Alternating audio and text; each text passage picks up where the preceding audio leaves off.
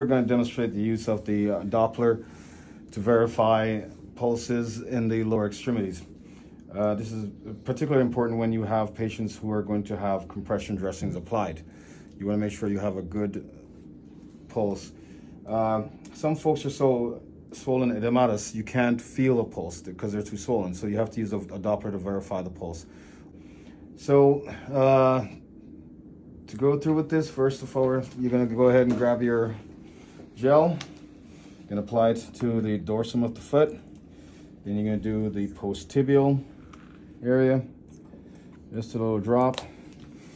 And get your machine, turn it on. Find the pulse. Sometimes very difficult to find, but if you start between the toes, you will eventually find it.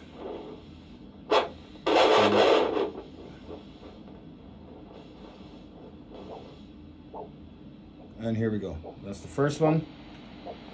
You're gonna move it around a little bit. So you get this pulse. Yeah, that's the first one. Here's the second one. So that's a good, strong, steady pulse. So that's good. So then we're gonna go to the tibial. We're gonna do the same thing.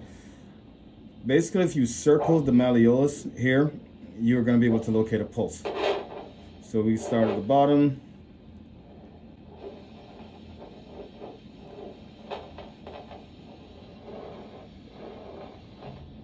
Very slowly.